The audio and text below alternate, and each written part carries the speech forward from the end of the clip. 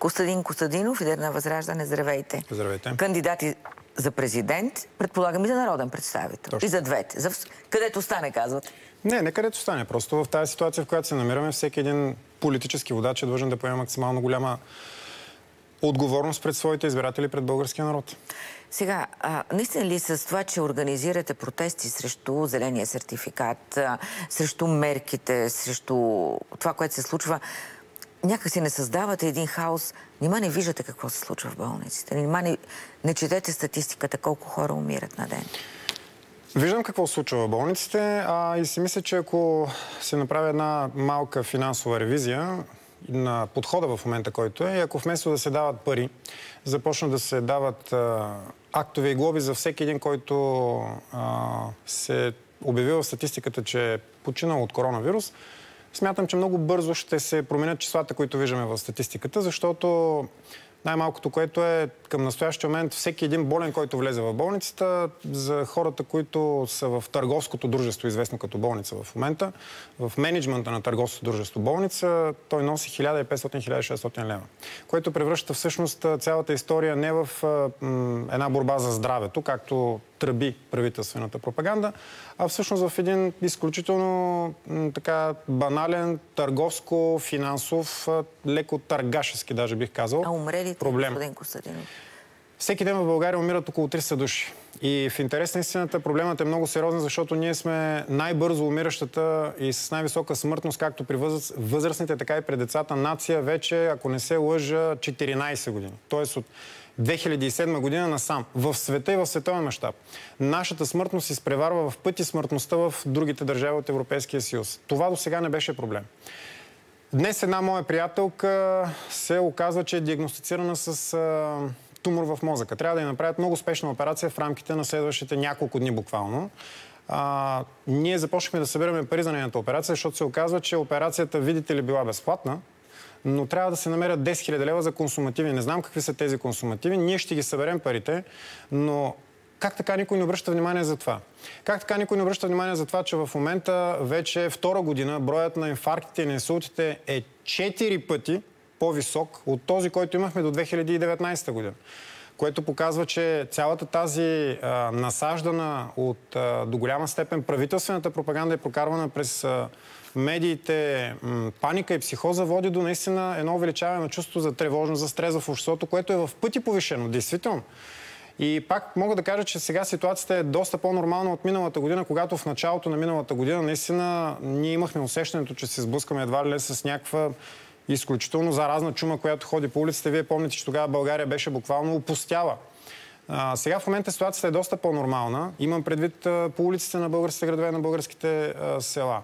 Опитите да бъдат накарани хората да се страхуват, да се изплашат, опитите да бъдат накарани да се вакцинират принудително. Между другото, тук ще припомня, преди около един месец последно гостувах при вас, тогава ви казах, че има принудителна вакцинация, вие не се съгласихте с мене, но както виждате в момента това се случва и лошото, знаете ли кое е? Лошото е, че ние здравомислящите хора а, отказвайки да приемем, че може да случат такива ужасни неща, каквито в момента се случват като принудителна вакцинация, като на, налагане на дискриминационни мерки, съпоставими с а, тези, които са въвеждали нацистите по време на Втората световна война. Всичко това нещо ни кара да си мислим, а какво ще е следващото невероятно и невъзможно нещо, което може да случи. Защото Добре. аз не вярвах, че това може да се случи. И не вярвам, че някой здравомислящ българин Обяснете е предполагал, обаче, че нещо подобно може това да стане. се случва и в Западна Европа. Ако кажете, че в Западна Европа нещата са различни, виждате в Москва случва локдаун, да, и там забрана се случва, в Москва да. на хора да излизат над, а, така над 60 е, години. Така е. Коронабесието е навсякъде. Тоест, вие разбирате повече от, от целия свят, не, от, напротив, от всички правителства, има... от всички... Не, навсякъде има две гледни точки. Разбира се, доминира вашата, не моята гледна Не моята. точка. Доминира Добре, да тази кажем, на доминира... властите, които носят отговорност така. за това къде ще се лекуват хората, колко ще умират, кой, дец... кой ще работи, кой няма да работи. Властите носи отговорност колко ще умират. А до сега защо никой не понесе отговорността за това, че ето сега последното ни преброяване отчете, че сме намалели с повече от 1 милион души за 10 години. Как така някой не пое отговорност за това? Аз кого да обвиня за това, че примерно да кажем а, града, в който аз живея, дори той Варна, третия по град в а, България, дори той намалява вече като население. Дори той, което не се е случило време на турското робство насам. Кого да обвиним ние, българските граждани, за това, че нашата държава и нашата народност е подложена на геноцид и за това, че в момента се фиксираме върху а, грипната епидемия, която е с 0,3% смъртност, Официалната статистика при това го учета, аз смятам, че даже тя е по-ниска, но да кажем, че е 0,3%. Никой не обръща внимание за другите неща.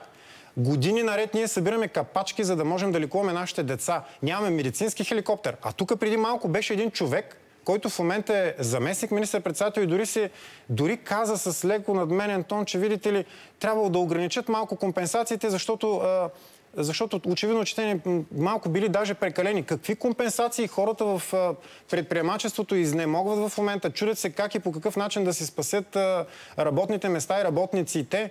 И работниците и предприемачите изнемогват. И на всичкото отгоре създават едно изключително изкуствено разделение, а, защото работодателите в момента буквално са насилвани да въвеждат тези зелени сертификати. Аз не мога да ги обвиня хората в крайна сметка. Разбирате ли, тук става въпрос за една обсада на здравия разум, който е по, на която... Вие имате ли здрав, здравен сертификат? Здравен сертификат? Ня... Да. Зелен сертификат? Да. Нямаме естествено, Няма. как не съм вакциниран. Как влизате в институции? Как... Не ви ли искат като влизате? Какви институции? В някъде там, където искат обичайно. Не, не влизам в институция, очевидно. Те, между другото, къде искат? Ако погледнете заповедта на министъра на здравеопазването... Не пазарувате ли? Пазарувам само единствено от а, малки магазини, собственост на български търговци. Не пазарувам от големите вериги, които са чужди, защото искам моите пари да остават при моите съграждани. Пазарувам на открити пазари, пазарувам от интернет, от български производители, за да мога максимално да поощря и да подпомогна хората, които смятам, че на своя ще подпомогнат българската економика, а не немските и френските пенсионери, като отида в големите хипермаркети. А... И няма да си извадите зелен сертификат. В никакъв случай няма да се извадя зелен сертификат. Това е принципен въпрос. Вижте, тук става въпрос за една брутална дискриминация, която разделя обществото. Това разделение в момента го въвеждат управляващите. Да, те не правят уникална политика и тук е момента, който трябва да отбележим, че въвеждането на този зелен сертификат беше буквално панически съобщено два дни преди срещата на Радев с държавните глави в Брюксел, което означава, че върху него е бил наложен огромен натиск. Не можем да кажем, че Радев е човек, който страда от липса на здрав политически разум.